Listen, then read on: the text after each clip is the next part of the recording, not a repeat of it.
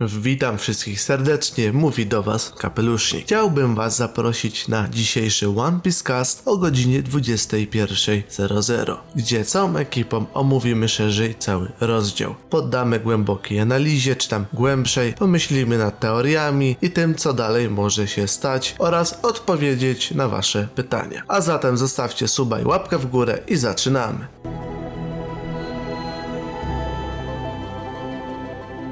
Zunisha potwierdza Momo i Yamato, że Luffy to Joy Boy, którzy są w szoku. Dalej Sanji wstaje niczym stary po mleko i wraz z kilkoma innymi ważnymi postaciami, jak na przykład Marco czy Kid, wyczuwają Luffy'ego przy pomocy swojej obserwacji. I przechodzimy do Gorosei. A więc piątka starszych gwiazd mówi, że żałuje utraty jednego ze swoich najlepszych agentów i zapewne chodzi o gościa w Meloniku. No i zdają sobie sprawę z tego, że zdenerwowali Kaido. Jednak stwierdzają, że było warto ze względu na to, jaki owoc gumiak posiadał. Wspominają, iż zoany potrafią posiadać własną wolę, zwłaszcza owoc boski, a Gomu Gomu no Mi to fałszywa nazwa dla mitycznego boga słońca Niki. Rząd mówi, że posiada on właściwości gumy, a walce ogranicza go tylko wyobraźnię użytkownika i tworzy z niego wojownika wolności. Obstawiam, że chodzi po prostu o to, że Luffy dowolnie może teraz manipulować ciałem. Dobra, a zatem mamy Orochiego, który jest dalej pod gruzami i próbuje on zwalić za wszystko co się wydarzyło na Kaido, ale Hiyori go sprawnie wyjaśnia. Jak mówi jego córka, Oden zawsze dotrzymywał słowa. To Kaido wraz z Orochim nigdy nie dotrzymali swojej części obietnicy i tak samo złamali swoje słowo podczas egzekucji, gdy Oden był gotowany żywcem a potem Orochi dalej gada głupoty próbując się ratować, ale Hiyori ściąga maskę i na epickim kadrze mówi, że jest Kozuki Hiyori i zawsze wspierała dobre imię swojego ojca. I dodaje, iż jej ojciec zawsze był szlachetny, a Orochi jest gnojem i każdy dzień jego rządów to o jeden dzień za dużo. Dostaliśmy nawet krótkie retrosy podkreślające relacje między nią a ojcem. Hiyori wspomina, że Odenowi nie przeszkadzało to, że robił z siebie debile przez 5 lat, ponieważ posiada on kochającą rodzinę. Od siebie powiem tyle. Hiyori potrzebowała takiego momentu dla swojej postaci, wreszcie mogła czymś zabłysnąć w fabule. No ale pojawia się duch Kanjuro, Orochi rozkazuje spalić Hiyori i mówi, że nieudana zemsta Hiyori i sojuszników Udena to idealny tytuł dla tragicznej komedii. Z jakiegoś powodu Kanjuro mówi o złej drodze i podpala Orochiego. Nie wnikam już w logikę tego zdarzenia, ale Orochi zginie symbolicznie, niczym jego największy wróg Oden. Moc, która miała być zemstą Kurozumich, jest ich zgubą. Hiyori wspomina, że świt nadchodzi i nie wiem ile razy już słyszałem to określenie. Oda koniecznie musi wyjaśnić wątek, o co z tym chodzi.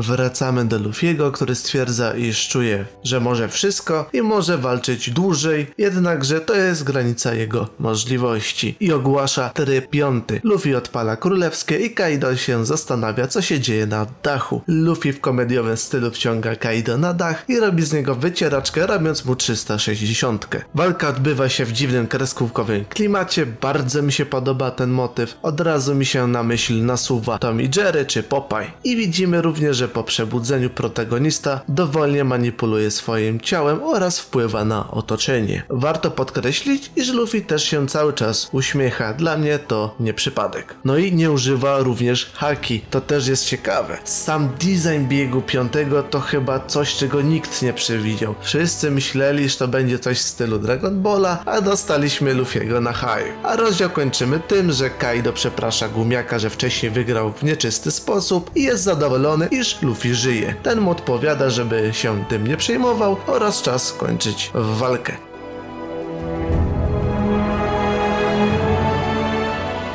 Teraz tak, specjalnie bardzo mocno streszczyłem rozdział, by bardziej się skupić na samym gumiaku. Jak mówiłem wielokrotnie, raczej jestem zwolennikiem zwykłego owocu gumy. Luffy'ego na tle innych protagonistów shounenów wyróżniało to, że nie ma specjalnych mocy, tylko ma średniej klasy owoc gumy i fajnie go eksploatuje. Danie mu po tysiącach rozdziałów nagle innego owocu uważam za decyzję kontrowersyjną, ale rozumiem tych, co im to się podoba. Natomiast żeby całość tej otoczki była spójna, chcę, żeby Oda wyjaśnił dwie kwestie. Pierwsza, dlaczego światowy rząd przez 800 lat nie mógł dopaść jednego owocu. Sami powiedzieli, że ten owoc im się wymykał, to oznacza, że mieli siły zaangażowane w pojmanie tego owocu. Ja bym nawet zrozumiał z 50 lat, ale 8 wieków szukać jednej rzeczy, której tak gdzieś tam była na widoku? No ja przepraszam, Oda musi to wyjaśnić. Albo komuś serio zależało na tym, żeby rząd nie dostał tego owocu i starał się, żeby tak nie nastąpiło, albo przez bardzo długi czas ten owoc był starannie ukryty. Drugą rzeczą jest to, od kiedy Gorosei wiedzą, że Luffy to niezwykła guma. To również Oda koniecznie musi wyjaśnić. Bo jeżeli wiedzieli o boskości owocu gumiaka gdzieś co najmniej od Alabasty czy East Blue, to mamy potworny plot hole. Już w tamtym momencie powinni wysłać na niego ogromne siły do pojmania go. Natomiast sam rozdział oceniam na XD na 10. Tak, dobrze widzicie, to nie jest żart. Dlaczego taka ocena? Bo bardzo podobał mi się ten rozdział. Pomijając pewne rzeczy do załatania, to super mi się go czytało. Luffy na haju daje kosmiczny fan. Cały czas mi się morda cieszyła. I nieważne, co czuliśmy przy rozdziale, czy to smutek, czy zażenowanie, czy serio nas cieszyło to, co czytaliśmy, myślę, że efekt końcowy jest ten sam, czyli uśmiech na twarzy. Myślę, że o to Odzie chodziło w tym rozdziale. Stąd taka ocena, a nie inna. Na koniec warto podkreślić jedną ciekawostkę dzięki Kirze z One Piece Polska. Także cóż, to by było na tyle. Ja byłem Kapelusznik, to jest takie omówienie na szybko, więcej na One Piece. Jeżeli Oda nadal będzie zrzucał takie bomby co tydzień, to będę musiał chyba robić bardzo długie analizy, bo to jest masakra. Nie da się w 10 minut powiedzieć wszystkiego. Więc zostawcie suba, lajka, komentarz i do zobaczenia w następnych materiałach.